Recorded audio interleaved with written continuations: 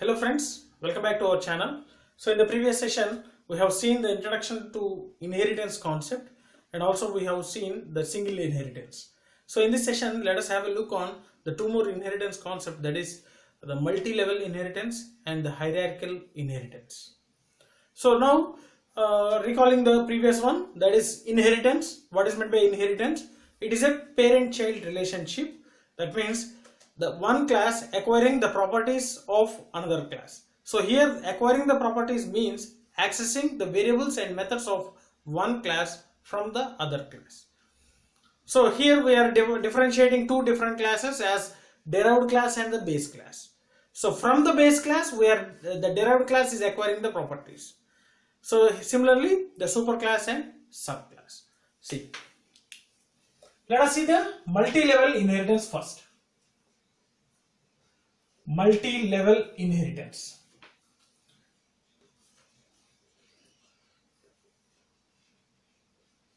So multi-level inheritance. So here there will be one parent class. So that means a base class. So one base class. From this there will be a derived class.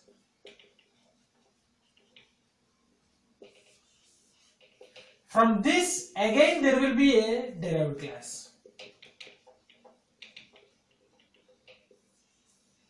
Right? So that means this is the child and this is the parent. And this is the child and this is the parent. So here this derived class is a child for base class as well as parent for another derived class. So this is called a multi-level inheritance. Right? So similarly, so this child class, that means derived. Let us uh, create a names, right? So let it be A, this is a B, and this is a C, right? A, B, and C.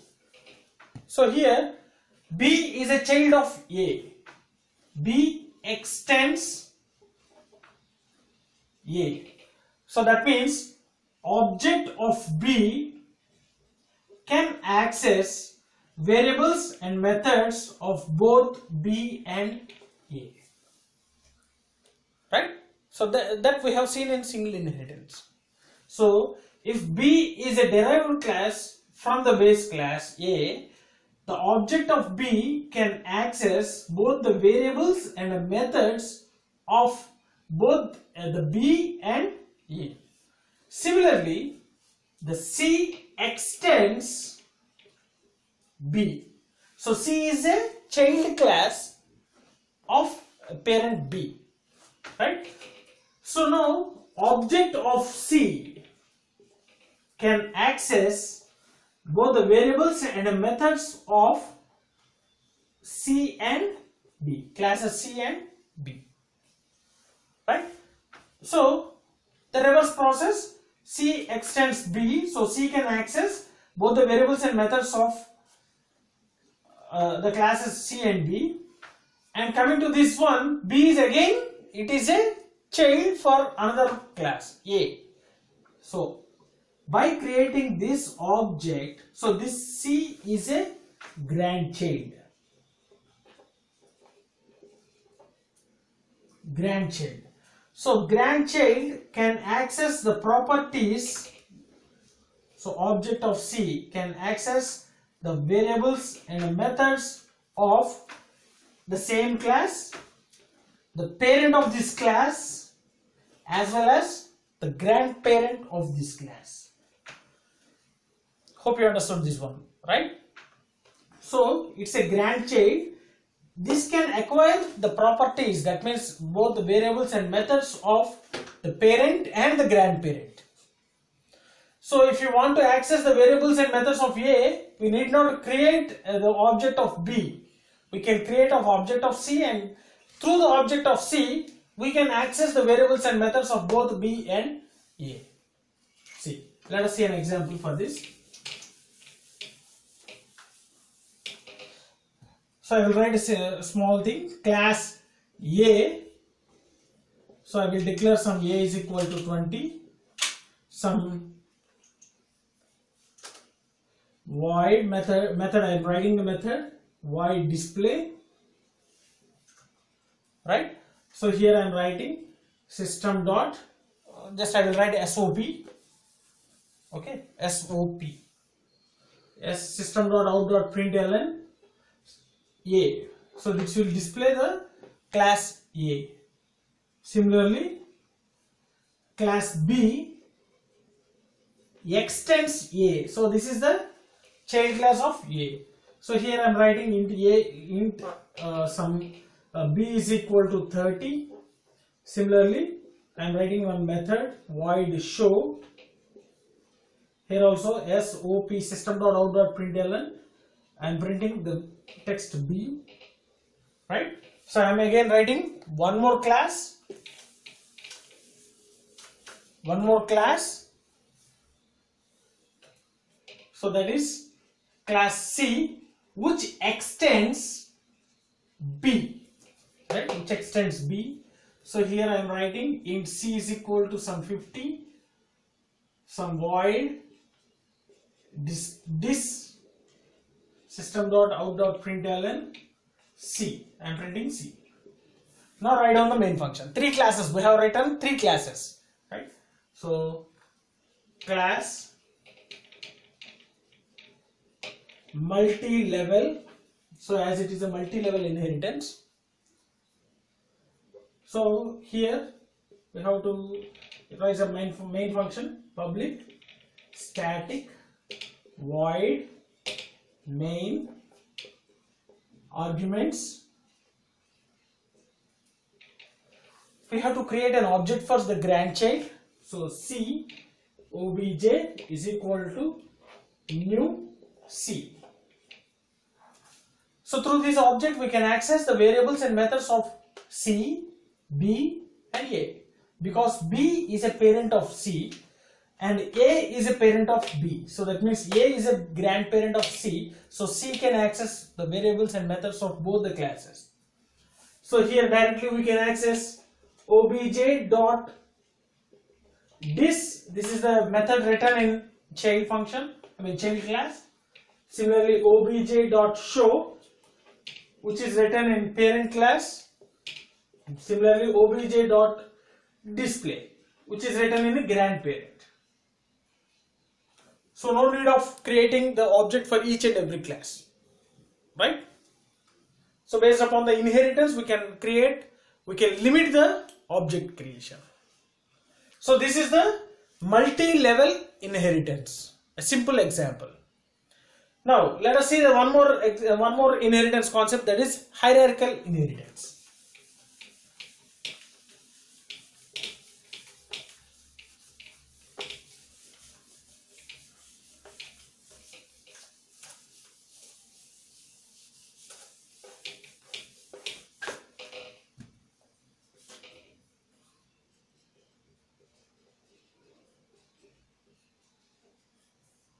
Hierarchical inheritance. Hierarchical inheritance means there will be one base class and from this base class we can have more number of derived classes. Derived class and again derived class. Right? So one parent and multiple childs. So this meaning is one parent and multiple child. That is called a hierarchical, right? So let us give a names A, B, and C. Now A is a parent and B and C both are childs, children, right? So B can access the object of B can access the variables and methods of B and A. Similarly, object of C can access the variables and methods of C and A. But the object of C cannot access the variables and methods of B. So this cannot be done, right? Because B and C are the siblings. That means two children. So in order to access the methods of A, B have to create an object as well as C also have to create an object. So two objects must be created here, right? So let us see an example.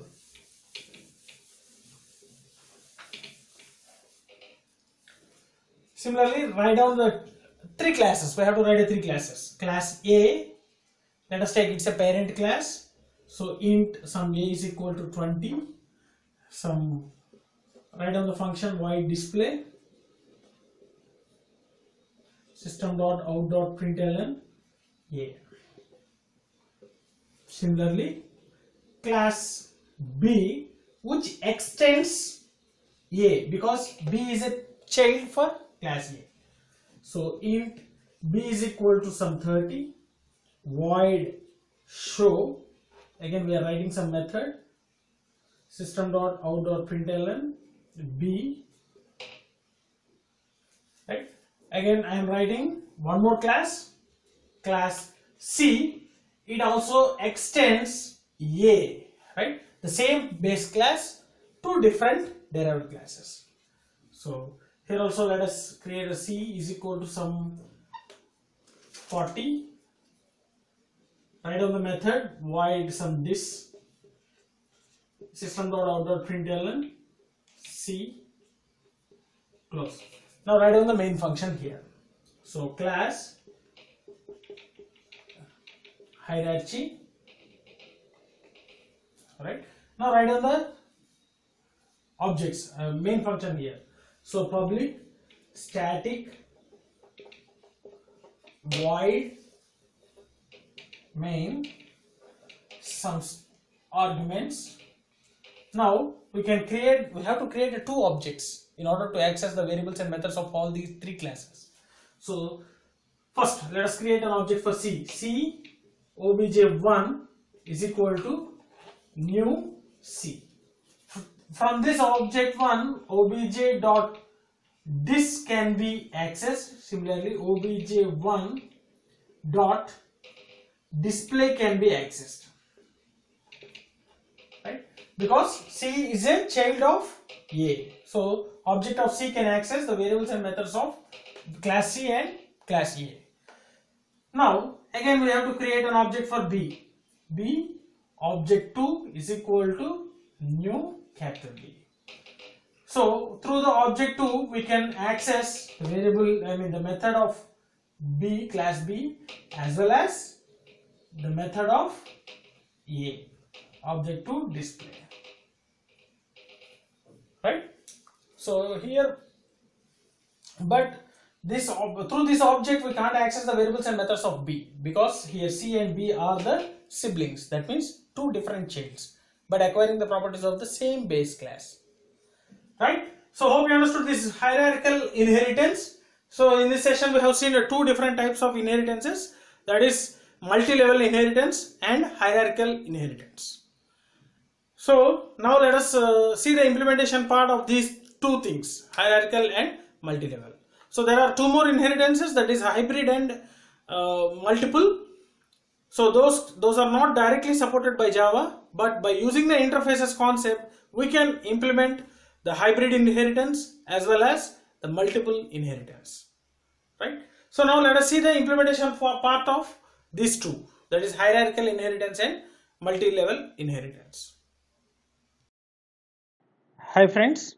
So now we will see the implementation part of uh, two more inheritance concept that is uh, multi-level inheritance and hierarchical inheritance.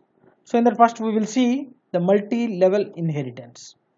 So as i have said that the multi-level inheritance means there will be one derived class and one uh, I mean one parent class and one parent and child class and one more child class. So let us see that. So this is a parent class class p. So I am just declaring one variable is equal to 10 and again a method void display.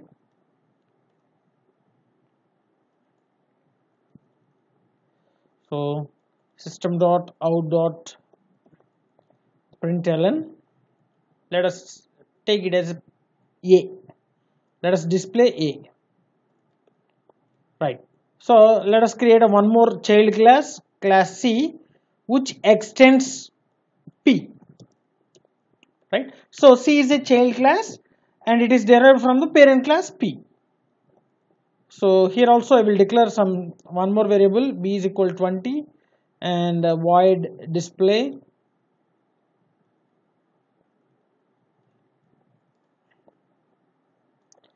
system dot out dot print ln.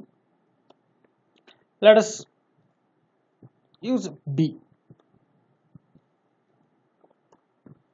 Right?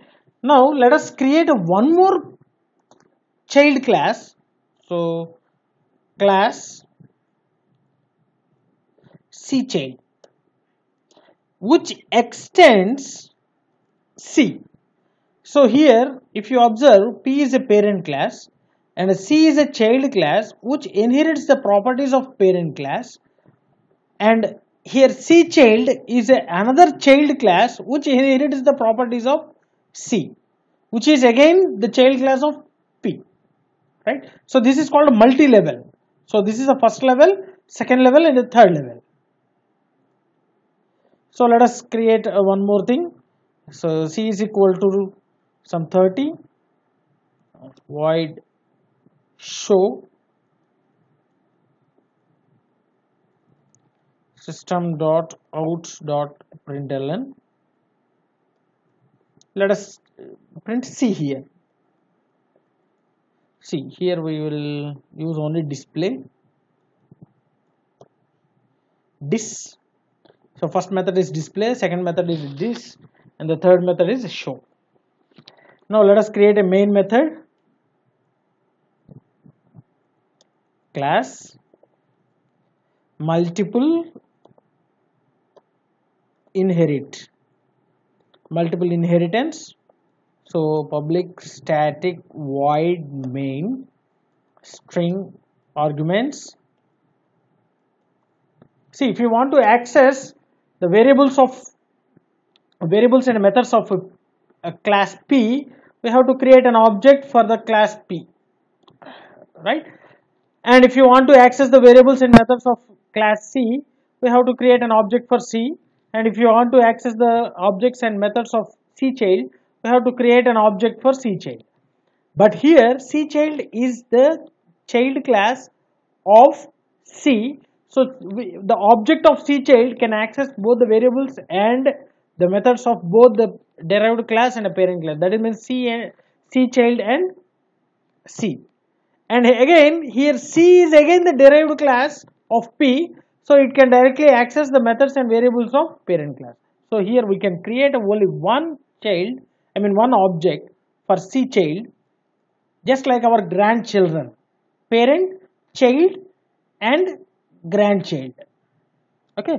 So we are creating the grandchild so obj is equal to new c child.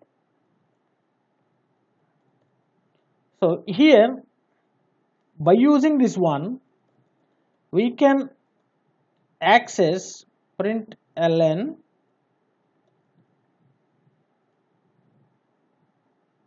obj dot c similarly obj dot show. So these steps will access the variables and methods of grandchild c okay? So multiple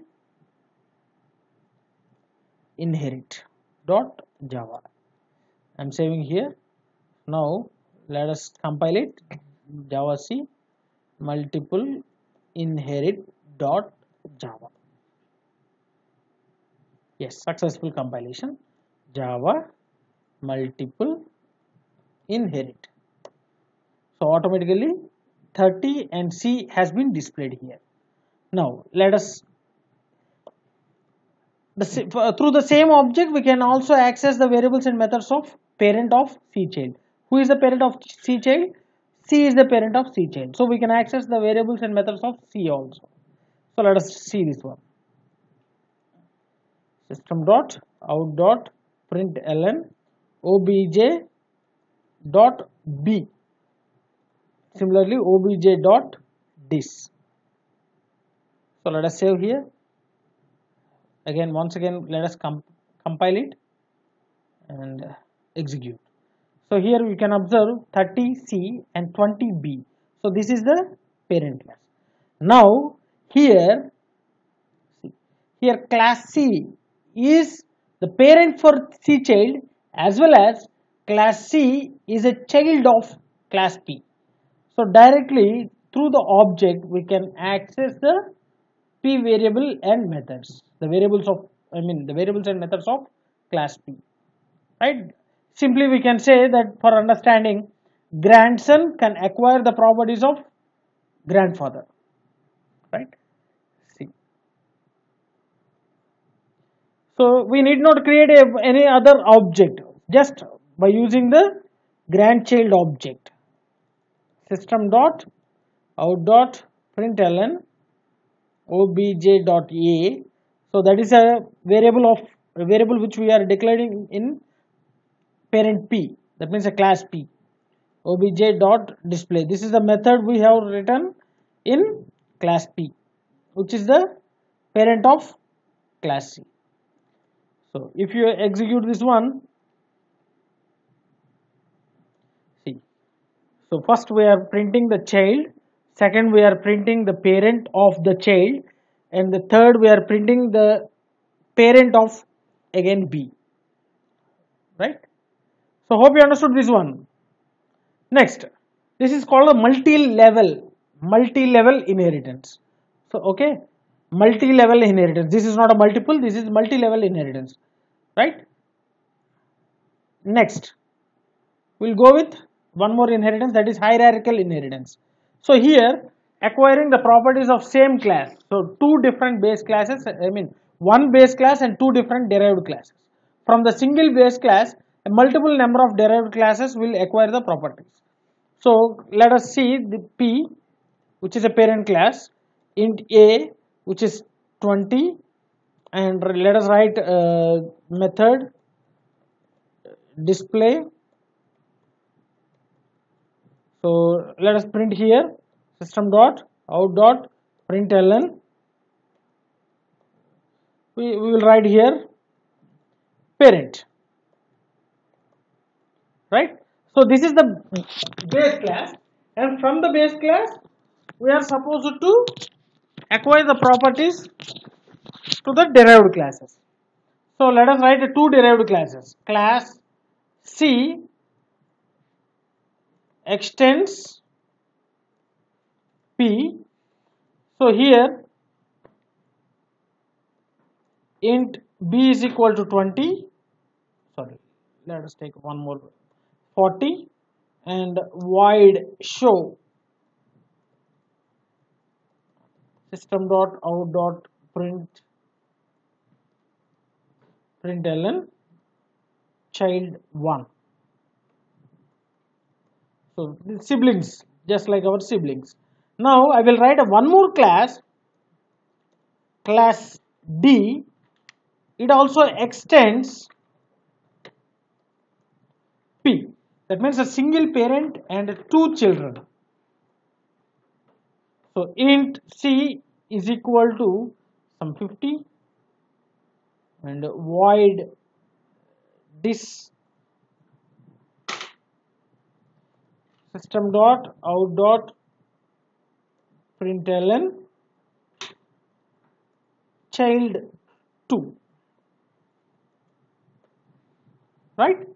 So now let us write the main function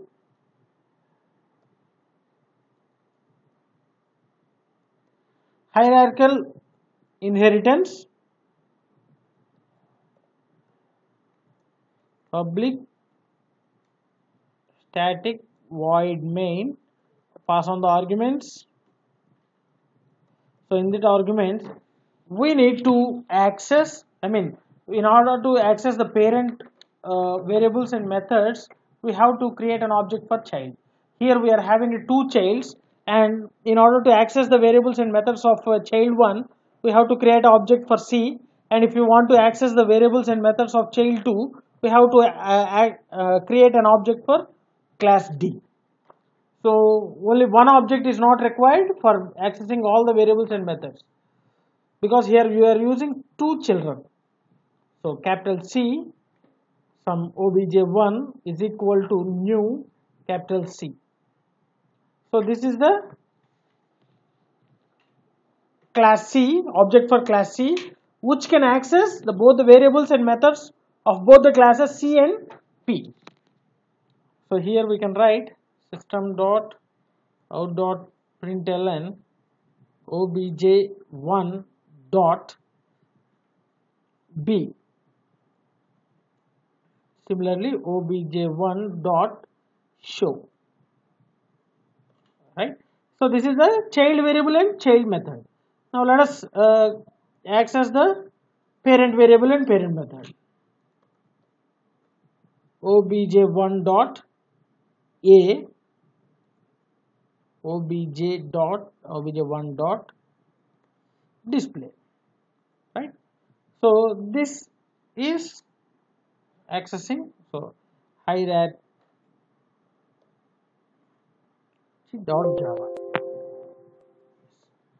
Right? Now let us compile it.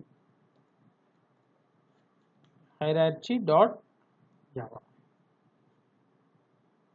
Right. Java hierarchy. See here 40 and child 1 because this is the object created for child 1 right? So 40 child 1 20 parent. So in order to access the variables and methods of d we have to again create a method for object for d child so d object 2 is equal to new d. So here through this object we can access all the variables and methods of parent and child. So who is the parent of d? That's nothing but a. I, I mean p class p right. So here c and this is this. So this is the object 2 object 2 because object 2 is the object for now let us execute this one. Right? So first one 40 child 1 20 parent. 50 child 2 20 parent. So here two childs so two objects has been created and by using two objects we are accessing both the parent and child class variables and methods. So this is called hierarchy. That means one base class and a multiple derived classes. Right? So hope you understood this one. So if you are having any doubts regarding this uh, multi-level inheritance and the hierarchical inheritance, feel free to post your doubts in the comment section so that I will definitely try to clarify all your doubts. And if you really understood my sessions, uh, like my sessions, share my sessions with your friends. And don't forget to subscribe to our channel. Thanks for watching. Thank you very much